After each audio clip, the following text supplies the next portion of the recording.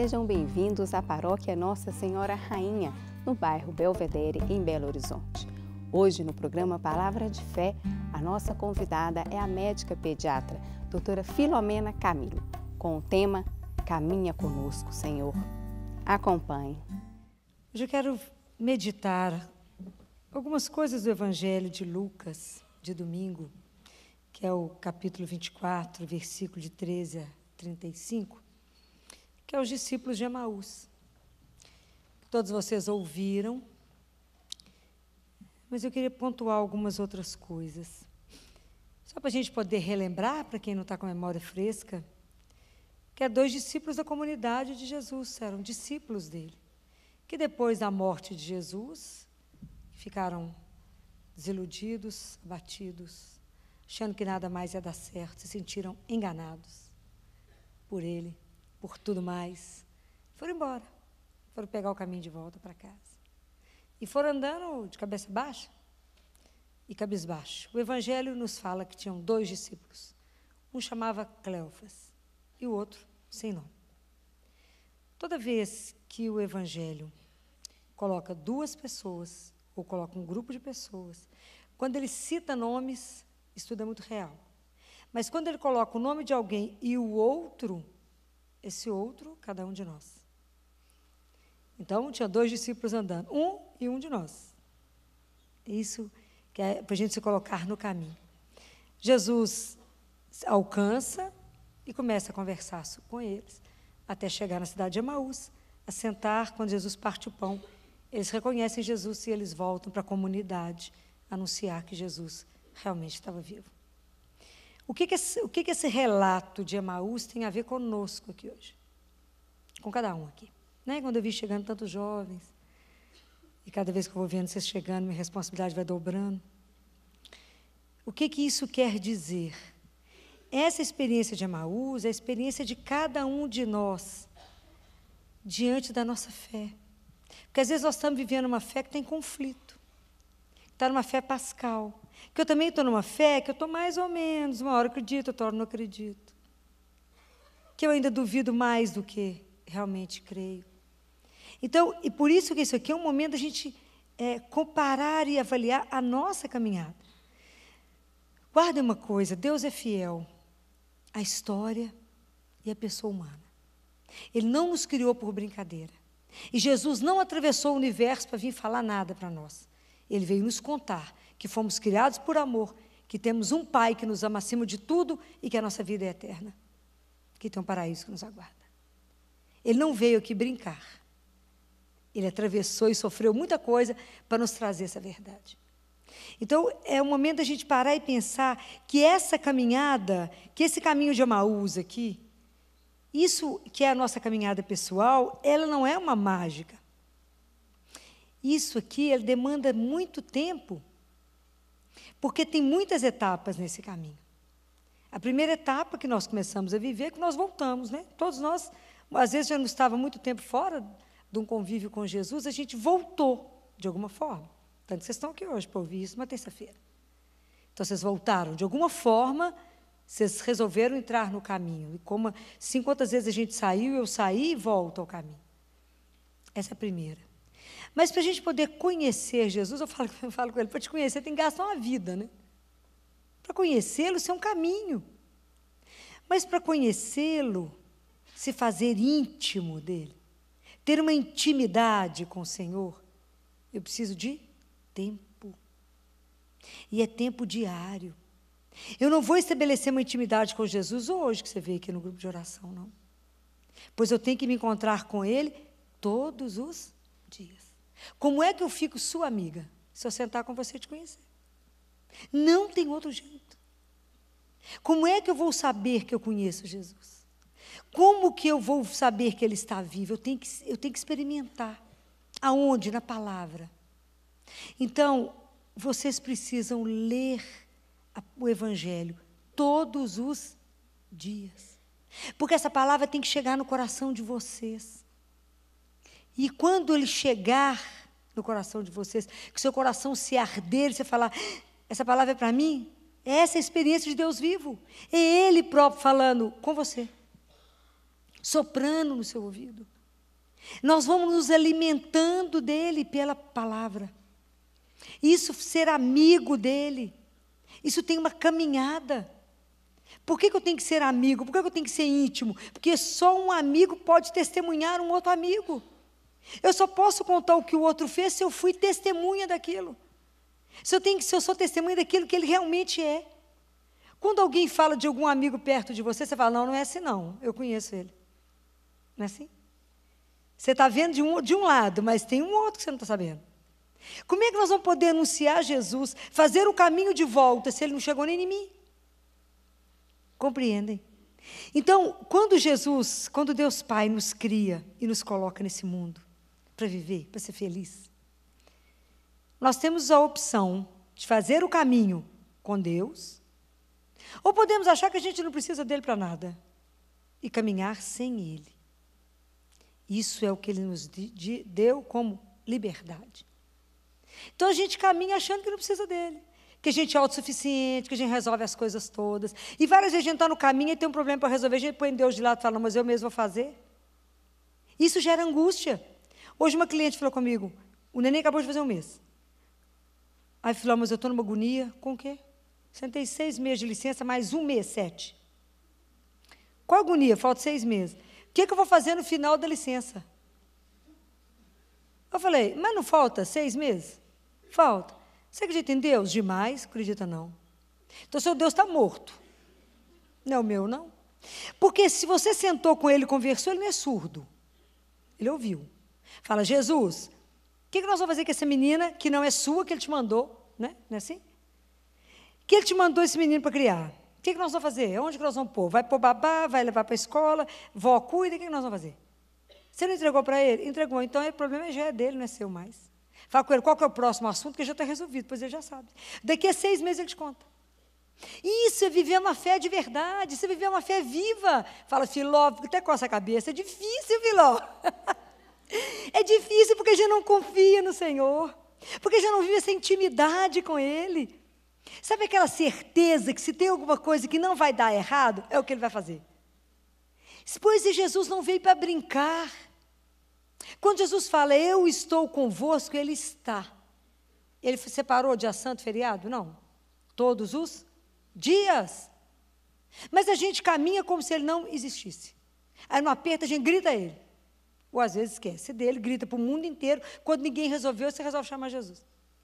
Aí o povo já fez uma confusão na sua vida desnecessária.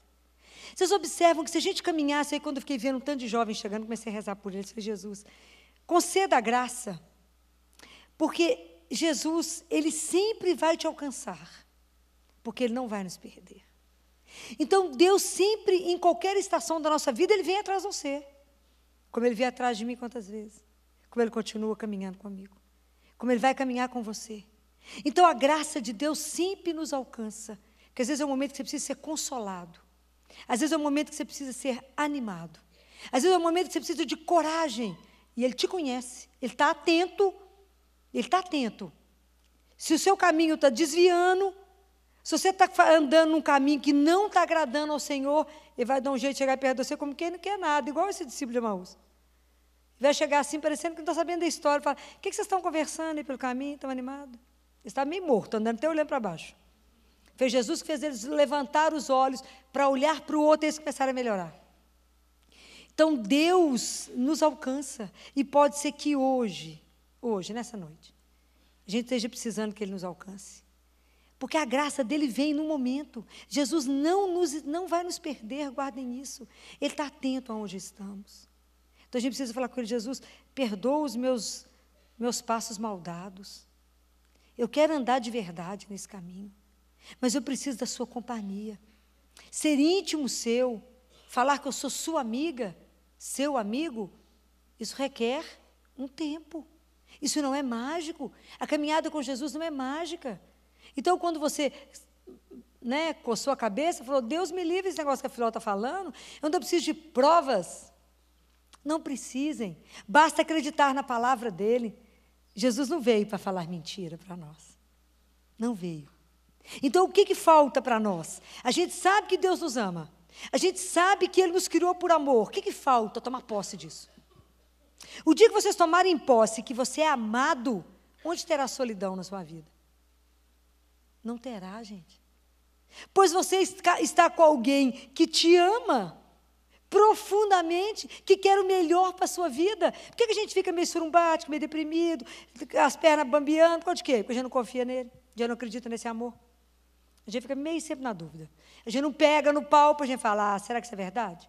Pois eu afirmo para vocês, é verdade. Não existe ninguém nesse mundo que cuida mais de nós do que o Senhor. Mas como é que vocês vão experimentar isso? À medida que vocês se alimentarem da palavra. E por excelência, que hora que os olhares desses discípulos se abriram? Quando partiu o pão. E para nós até hoje é na ceia eucarística. É na hora que ali tem Jesus vivo que nos alimenta. É onde nós podemos experimentar. Onde que eu posso encostar em Jesus vivo hoje? Pega na Eucaristia, é Ele. Sabe qual que é o nosso problema? Já não crê. Eu acho que a gente acreditar, a gente vinha nem andando, a gente vinha de joelho. Pois nós estamos diante de um Deus vivo. Isso é um mistério que me põe enlouquecida cada vez que eu comungo todo dia com a graça de Deus. Que eu tenho essa graça. Que a hora que eu recebo a Eucaristia, eu falo: que mistério é esse de um Deus que me criou, que me sustenta e me alimenta? Eu posso passar sem comida. Digo virar santa, né? Porque por enquanto ainda não posso. Mas quantos beatos viveram com uma Eucaristia por dia? Quantos? E nós recebemos a Eucaristia e continuamos com o olhar para baixo. Ó, é para sair da igreja cantando, dançando. Pois você encontrou aquele que pode todas as coisas. Aquele que te restaura, que te dá coragem, põe de pé, te sustenta, que você pode conversar com ele. Ele, naquele momento, a relação nossa com o Senhor é única. Jesus não relaciona conosco em multidão, ele relaciona, o relacionamento dele é íntimo e pessoal. Você pode soprar no ouvido dele e falar, Jesus. Ele vai falar, oi. Você ouviu aquele negócio? Não precisa nem falar que negócio, você já sabe. Isso é espetacular. Rezar é uma coisa, quando você conversa, ele já é seu amigo, você já tem intimidade, você não precisa ficar explicando muita coisa, mas ele já sabe. Ele vai, vai adquirindo outras coisas. Fala, sabe aquele negócio? Ele já sabe. Sei, pois é. As pessoas falam, filho, reza para mim, reza, mas guarda bem meu nome. Fala, mas se eu esquecer, Jesus sabe. Você tem dúvida que ele sabe? Claro que não. Fala, Jesus sabe que é a pessoa que nós encontramos? Pois é, ela. Ele sabe. Nem se eu não explicasse, ele saberia quem é. Mas a gente não confia que a coisa é tão boa desse jeito, que isso é real. E só o dia que a gente experimentar esse Deus vivo, você vai fazer o caminho de volta. Aí você vai chegar diante de alguém e falar: pode fazer isso que eu te falei, que isso, isso funciona. Não é porque funciona porque é mágica, mas porque eu tenho um Deus vivo. Porque se eu caminho com Ele, eu não preciso ter medo. Se Ele me dá a mão, Ele me sustenta. E aí eu passo o que tiver de passar. Porque Ele disse que se você atravessar a água, o fogo, eu passo com você. O fogo não te queima, você não se afoga, porque eu estou com você. O seu nome está gravado na palma da minha mão, eu sei tudo que você está fazendo o dia inteiro. Eu te acompanho para te vigiar, para te cobrar, não, porque te amo. Compreendem a diferença? Ele anda conosco, não é para ficar falando, não faz isso, não faz aquilo. Se você pedir opinião, ele vai falar, erro, você não devia fazer isso, não, você deve pensar ali. Mas se você assim mesmo insistir e falar, quem sabe da minha vida sou eu, e fala, tudo bem, mas eu continuo aqui. Ele vai embora. Não dá conta, porque nos ama. E isso, o dia que a gente aprender, é o dia que a gente vai ficar mal acostumado. Assim como meu marido diz que eu sou mal acostumado. Mas é porque a gente é mal acostumado porque você sabe que você tem ele ali do lado. Que a caminhada não é fácil. Por isso que Pedro, para nós, é uma imagem fenomenal. Porque Pedro foi aquele que falou, aconteceu, falou com Jesus. E, menino, se você for te prender, eu também vou junto. Eu dou minha vida para você, negou Jesus a seguir. Mas era um homem de coragem. Foi um homem que amou Jesus. E a imagem de Pedro, porque claro que teve essa negação, mas as qualidades de Pedro são muito maiores do que essas. Mas porque Pedro para nós é imagem para poder nos mostrar o tanto que caminhar com Deus não é fácil. Por isso que a gente precisa da presença dele. Por isso que os discípulos falaram: fica conosco. Porque se ele for embora, nós vamos traí-lo. Ele nem saiu aqui, nós já traímos ele aqui agora a gente não consegue permanecer se o Senhor for. Por isso ele precisa ficar. Então, essa caminhada conosco, ela é uma progressão. É devagar que vocês vão confiando no Senhor. Começa dando uma coisinha pequena. Depois aumentando, aumentando, aumentando, até você dar inteira. Você falar, ah, mas qual que é o seu desejo, seu sonho? Só fazer o que ele quiser. E está tudo certo. Porque eu preciso ser aquele que ele sonhou que eu fosse. É diferente. O mundo já não te ilude mais, não te engana mais. Porque tudo que o mundo dá é tão transitório que Deus tem para nós é finito. Mas um dia a gente vai entender isso, à medida que Ele permitir abrir os nossos olhos. Porque tem uma outra questão aqui em Emaús. O que fez esses homens acordarem foi a conversa de Jesus. Isso é para a gente começar a pensar nas nossas conversas. A gente nunca viveu um mundo tão conectado. Né? Tanto chat, né? Não podia nem falar chat, chat não é conversação, mas está todo mundo ali. E, na verdade, na verdade, as nossas conversas estão reduzidas a uma tela. Ou WhatsApp, ou o computador, ou qualquer outra coisa. Então, nós estamos tendo relações, os nossos relacionamentos são muito frios hoje em dia. Nós não temos mais a importância de uma presença, de um encontro. Porque é essa presença e esse encontro que transforma para nós a nossa vida. É, é, é o encontro com Jesus que transforma a nossa vida completamente. Então, o quanto que a gente precisa pensar na nossa vida e a que, que nós estamos reduzindo as nossas conversas. Quando a gente fala de Jesus, Jesus se faz presente. Será que nós conversamos mais coisas no nosso relacionamento que nos deixam com o coração ardendo ou relacionamento absolutamente frio? Preste atenção. Hoje em dia, qual é a maior, nossa, nossa maior preocupação? Sem, sem medo de falar. É esquecer o celular. É não ter uma. Será que aqui tem. Aqui pega a internet? Será que eu vou ficar desconectada? E o pânico que eu tenho disso? Assenta um de nós numa cadeira, desliga o rádio. Não tem televisão, nem livro para ler, nem jornal para folhear. Você. E aí? Fica louco. Bate perna, começa a rodar na cadeira, começa a contar os dedos, uma coisa.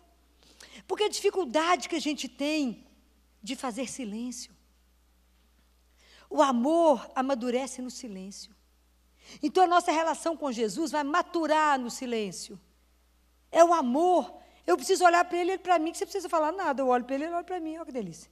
Quando você não está aí namorado, você fica olhando para a cara do seu namorado igual assim. Não fica? E o namorado olhando, aquela carinha. É assim com Jesus. É uma relação de amor. Mas nós esquecemos disso. Então, ficar sozinho em silêncio, fazer uma conexão não exterior, mas interior, e saber quem eu sou. E saber quem verdadeiramente é aquele que me sustenta, qual é a fonte de vida inesgotável que existe dentro de mim. Isso eu não alimento, não. Por isso que o povo vive desanimado, entristecido, deprimido, correndo feito louco. Ninguém olha mais uns nos olhos do outro, ninguém abraça, todo mundo com pressa. Vou te mandar um zap. Não é assim? Pô, te mando não sei o quê.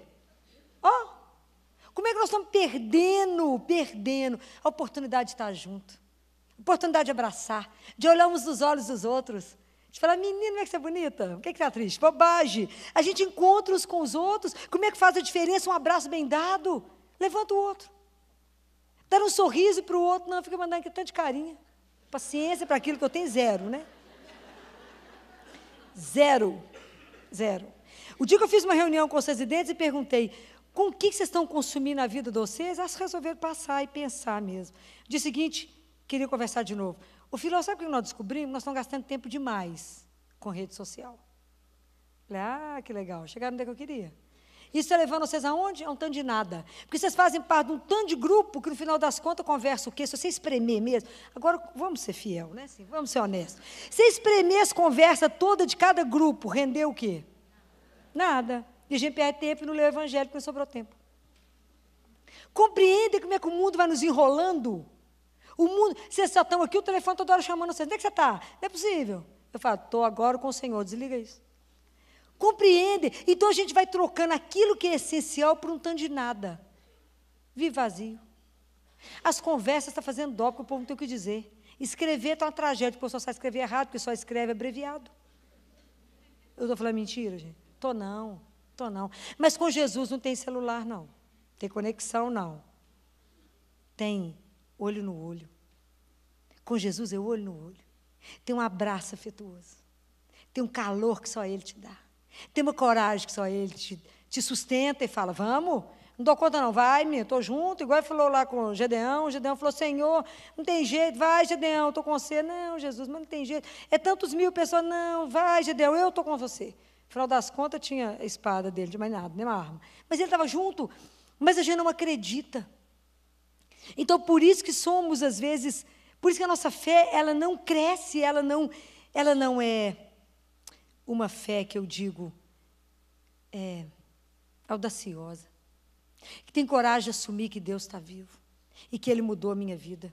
Porque esse encontro com Ele muda meu jeito de pensar, de agir, de falar, de fazer tudo nesse mundo. Porque tudo que eu falo, fica, tudo que eu vou fazer, tem um peso porque eu creio em quem? Nele. Outra noite eu e meu marido estavam conversando. O tanto que é difícil ser cristão. Você podia fazer isso, é, mas, como nós acreditamos em Jesus, não pode. Não pode, porque eu comprometo o nome do meu amigo e que é o meu Senhor, que é Jesus. Compreendem? É diferente, mas olha, eu digo para vocês, e eu fico aqui vendo esse tanto de jovens aqui.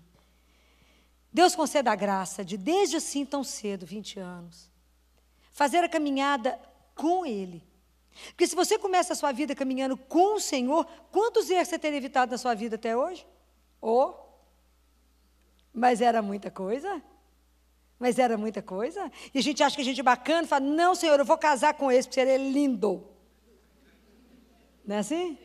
Tem covinha, Jesus. Não, nem perguntou para Jesus, lá que tem para lá. Porque ele é lindo, filho, amo de paixão. Você tem certeza, fulana? Tenho. Esse agora vai dar certo. Perguntou para Jesus, depois de pergunta para Jesus, né? Quando é errado. A gente fala, onde que deu errado, Jesus? Porque você não perguntou se o coração dele prestava bem.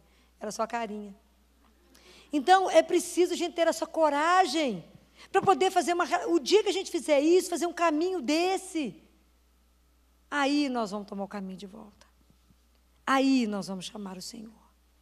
Ter a coragem de, de fazer silêncio, porque precisamos do silêncio.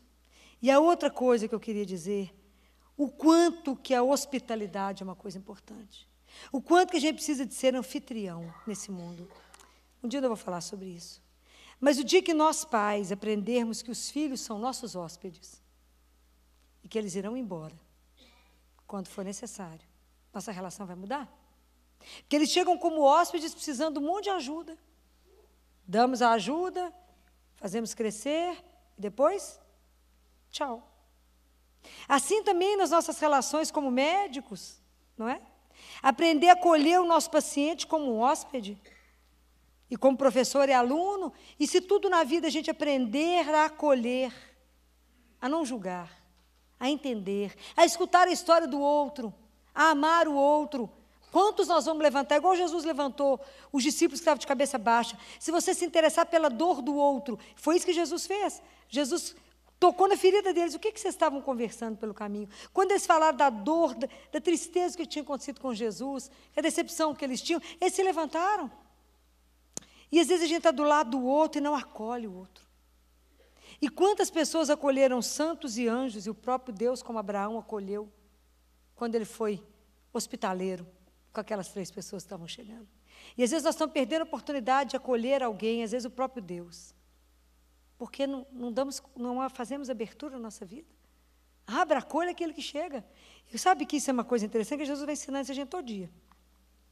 Isso que é lindo caminhar com Ele, porque se a gente não conseguiu fazer direito hoje, Ele fala: experimenta.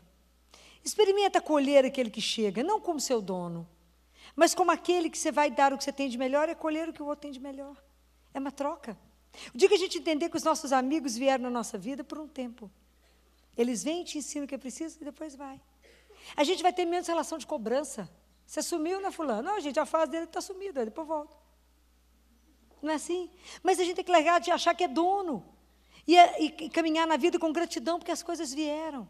Veio o filho, tem um pai, tem uma mãe, tem um tio, tem um parente, tem um primo, tem alguém que vem cuidar de você, tem um funcionário que vem cuidar da sua casa. Acolher aqueles que vêm. É tão diferente quando o caminho é assim. É tão mais leve quando é assim. Quando a gente acha que é dono de tudo, manda em tudo, que é tudo, tudo é seu. Não caminhamos. E, aliás, fazer caminhada com Deus, se a gente carregar muita coisa, fica pesado, não dá para andar. Quanto menos coisa levar, melhor. Mais leve fica o caminho. E o que, que é nosso? Tudo é emprestado. O dia que vocês começarem a entender vocês vão ver que vocês não vão ter medo de dar nenhuma roupa que já passou da moda, que não te serve mais. Porque tudo é empréstimo. O que, que nós vamos levar mesmo? Nada. Olha, é raro as semanas que a gente não arruma uma criança que morreu. E até os brincos a gente tira. Levamos o que mesmo? Nada. Levamos o que amar. É a marca que vamos deixar. Mas podemos caminhar bem uns com os outros se caminharmos primeiro com o Senhor. É preciso convidar o Senhor para caminhar conosco. Falar, Jesus, fica comigo, caminha comigo. Todos os dias a gente precisa se ligar ao Senhor e falar, Jesus, eu quero caminhar com o Senhor. Porque Ele é tão educado, Ele foi tão bem educado, que Ele não vai intrometer na sua vida se você não o convidar. Mas se você o convidar, Ele terá uma alegria imensa em, em viver a sua vida com você. Mas uma alegria imensa. Porque não tem um companheiro como Ele. É um companheiro de caminhada. É uma alegria caminhar com Ele. Dividir as coisas com Ele. Falar, me ajuda, me socorre, me sustenta. Porque é o Senhor que nos sustenta. E só Ele.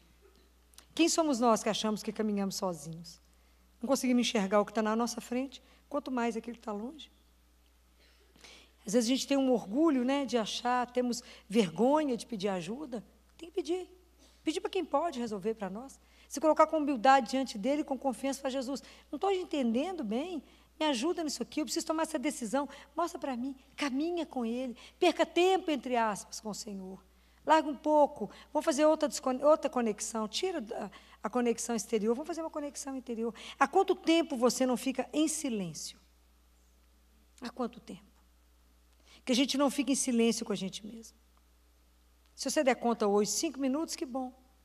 Peça a ele a graça. Fala, amanhã me deixa ficar dez. Depois quinze. Você imagina São João Maria Vianney, quando ele foi, entrou né, lá na cidade de Ares, que ninguém ia para a igreja? Ele ficava 12 horas diante do Santíssimo converteu uma cidade. Fechou to todas, as, todas as coisas que tinha na cidade, de bordel, de casa de jogo, ele fechou todas, sem falar, diante do Santíssimo. Ficava lá 12 horas, depois o povo tudo dentro da igreja. Por fim, virou a cidade que todo mundo, até pediu conselho para ele, rei, todo mundo ia para lá. Ele conseguiu converter uma cidade, ficando diante do Santíssimo, 12 horas olhando. O que, você faz eu olho para ele, ele olha para mim. Simples assim. Simples assim. Deus é muito simples. Deus é simples. E a hora que vocês começarem a conviver mais de perto com Ele, é igual aquela pessoa que você ama. Você sabe a hora que seu marido vai chegar em casa, você sabe a forma como ele abre a porta, só ele abre. Não é assim? A criança reconhece o horário que a mãe vai chegar e fica de olho na porta. Você sabe quando uma pessoa que você ama, a forma dela andar. E assim vocês irão reconhecendo Jesus no caminho de vocês, no dia de vocês. Vocês irão reconhecendo como é que ele que é, como é que ele vai provendo as coisas. O dia que vocês começarem a pedir a ele, falar Jesus, é, eu preciso é, de ajudar alguém hoje, preciso fulano, mas que a vossa graça me preceda para que eu saiba o que eu tenho que fazer. Porque se o Senhor não se antecipar, nós não damos conta de saber ajudar. Esse, esse feriado, um, um casal que é daqui do Brasil, está morando fora do Brasil, me ligou porque querem fazer ajudas, né? Ainda falei com eles, nós temos que rezar até para saber como ajudar, porque até até para ajudar a gente precisa da graça de Deus. Deus tem que nos mostrar quem é que Ele quer que a gente faça, por quem Ele quer que a gente faça. Então tudo nós somos absolutamente dependentes dele. E o que eu gostaria que vocês aprendessem que a gente é absolutamente dependente do Senhor, até como o ar que a gente respira. E, e eu queria dizer aqui para me terminar como é que Jesus é fiel. É, é, hoje tivemos uma manhã tumultuada, muito tumultuada, lá no CTI, com uma outra menininha morte cerebral. Mas como a família é de uma religião é, neopentecostal, eles não têm discussão, não têm conversa, porque eles param no milagre de Lázaro e só e não deixa a coisa da sequência e é muito difícil. E foi, foi tá sendo conversas difíceis, fui, fui buscá-los para poder vir conversar. Pra vocês terem noção, a temperatura da criança não chega nem a 32 graus. Termômetro não, é um tumor cerebral, ela tem morte cerebral. Eu sei que é duro, uma menina de quatro anos, que sete meses atrás era normal. É difícil viver isso. Mas se a religião não nos fizer melhor, nós estamos na religião errada. A religião ela tem que me ajudar nesse momento da dor a caminhar de mão dada ou se eu não der conta no colo daquele que me ama. Mas sabendo que depois de uma cruz tem a vitória, tem a ressurreição. E que a última palavra da vida não é morte, é amor, é ressurreição Não pode ser dor a nossa vida, não é essa a promessa de Deus. E Jesus acabou de nos mostrar isso agora. E foi uma manhã difícil, difícil, difícil, muito difícil. E cheguei em casa na hora do almoço passando muito mal. Mas muito mal. E muito telefonema que as crianças todas estão todas doentes. Né? Todo mundo viajou, foram para muitos lugares, muito frio. Consequência, os meninos estão todos tossindo, em asma, pneumonia, dor de ouvido. Então era uma pressão de um lado, eu tinha que estar aqui hoje. Liguei para a Ana, falei, não sei se darei conta. Não sei nem se vou dar conta de atender consultório, estou muito mal. Passando mal, fisicamente muito mal. E aí, fui rezar, tomar um banho. Falei, rezem por mim, para que eu chegue aí. O consultório foi bombástico, minha secretária estava até passando mal, dor de cabeça. E eu falava com Jesus: olha, eu não vou olhar o relógio, o Senhor controla o relógio, controla o relógio, controla o tempo, tem que dar tempo, tem que olhar todos os que ligaram, está todo mundo passando mal. Nos ajude, me ajude, que eu tenho um compromisso de chegar lá com o seu povo que o Senhor mandou para lá hoje. Com a palavra que o Senhor vai falar, porque eu não tenho nem noção do que eu vou falar, porque eu estou meia, meia pessoa hoje. E Jesus é tão impressionante conseguimos olhar todos. Todo mundo tinha que fazer raio-x de urgência, fizeram raio-x, deu tempo de levar. Tudo foi resolvido hoje. Para cada dia, basta o seu cuidado. E você já me ensinou, né? A cada dia, filho. Não preocupe com amanhã. Amanhã tem outros meninos para olhar. Hoje. A cada dia, basta o seu cuidado. E aí, quando eu cheguei aqui, essas meninas ficaram à tarde em oração por mim. E é tão lindo que vocês escutaram qual era a palavra para mim. Basta-te a minha graça porque é na sua fraqueza que manifesta o poder da minha força.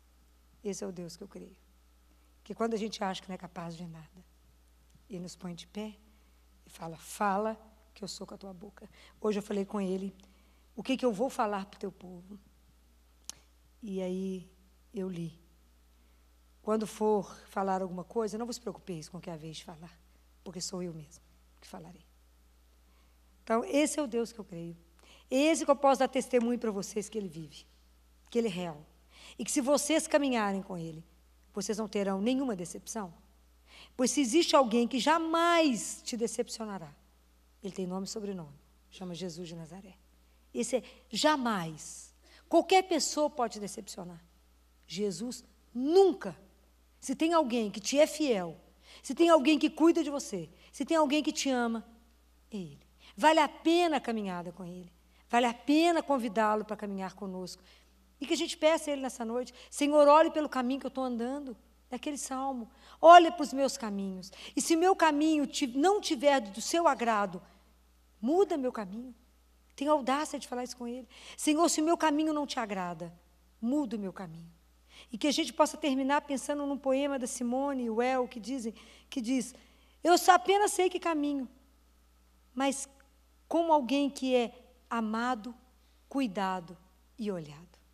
Se vocês saírem daqui com essa certeza no coração de vocês, que vocês caminham com alguém que ama, cuida de vocês e olha para as necessidades e para o dia de cada um de vocês. Para cada um de vocês. E Deus, eu digo e afirmo, Ele só tem o melhor. Deus não tem mais ou menos, Ele tem o melhor. Vamos fechar os nossos olhos. Vamos ter a coragem de colocar nossos caminhos diante do Senhor e falar: Jesus, eu quero ter uma experiência viva. Eu quero testemunhar um dia também. Um dia também eu quero, quem sabe amanhã, falar com alguém. Entrega as coisas para o Senhor, sem medo, porque o Senhor fará. Vamos pedir a Ele, Jesus, olha para a minha vida agora. Olha para os caminhos que eu estou traçando agora. Pelas opções que eu estou fazendo na minha vida. E se isso não te agradar, muda, muda os meus caminhos, porque o Senhor é o meu Deus e o meu Senhor. E a doutora Fila hoje nos fala hum, dos discípulos de Emaús. E ela fala que todas as vezes que o Evangelho coloca duas pessoas caminhando, uma delas sou eu, ou você. A passagem fala que eles caminhavam tristes, Jesus caminhava junto com eles. E no final eles falam: Fica conosco, Senhor. O dia já está indo embora, a noite está chegando. E quando Jesus abençoou o pão, a palavra fala que os olhos deles se abriram quando a benção é pronunciada. O convite de hoje é pedir a Jesus que caminhe conosco. e que abra os nossos olhos, porque muitas vezes Jesus caminha conosco e assim como os discípulos de Emaús, os nossos olhos não são abertos. A gente não consegue ouvir, enxergar, perceber a presença do Senhor em nós. E a nossa oração hoje é essa. Vamos rezar? Senhor, hoje nós estamos aqui e nós sabemos, Senhor, que o Senhor caminha conosco, mas às vezes é tão difícil de ver, de ouvir. O barulho do mundo é tão alto, a confusão ao meu redor é tão grande que eu não consigo te ver, Senhor. Fica conosco, Senhor. Abre os nossos olhos para que a gente possa te contemplar. Abre o nosso coração para que a gente possa perceber a Sua presença a cada momento na nossa vida. Fica conosco, Senhor, porque a noite está chegando e a gente tem medo de caminhar sem a Sua presença. Fica conosco. Amém? Se você gostou desta palestra, você pode adquiri-la na loja NS Rainha, que fica localizada na rua Modesto Carvalho de Araújo, número 227, ou pelo telefone 3286-3034, ramal 231, ou também nas lojas paulinas. Fiquem com Deus e até a próxima!